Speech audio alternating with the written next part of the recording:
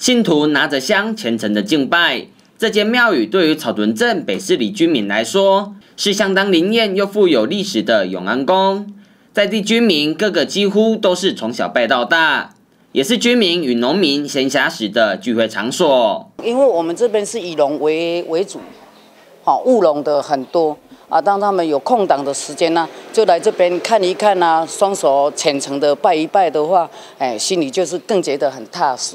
坐在一起呀，聊聊呃田里的耕田的一些呃技巧性的啦，在这边交流，来促进感情。草屯镇北市里的永安宫，从清朝建立至今，经历过战乱的时代，所以对于地方是相当重要的信仰中心。啊，尾啊，第七十九年以后改建，改建之后目前即马北市南永安宫这个这么正辉煌吼，啊，这就是原前主位吼，嘛是里长安慰家先生。啊，伊家己伊落去切话，甲地方的士绅的大家配合，吼，这样目前咱看起来这样正辉煌的成果。地方居民平时都会来烧香祈求平安，而庙内每尊神明各尊都有许多故事以及历史价值。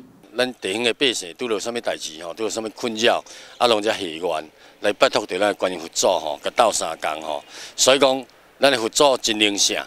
啊，用帮忙着咱这百姓吼，解决着真济吼。啊，心内上啊，心理上所拄着的困扰吼，暗中拢会甲斗三工。啊，这这庙已经起啊足大间的吼，就是咱北西南啊，即咱草屯镇吼，诶，信信仰中心吼，有闲邀请咱大家吼来个行行看看来参拜者，观音佛祖吼来个请求吼，伊嘛暗中甲你斗三工。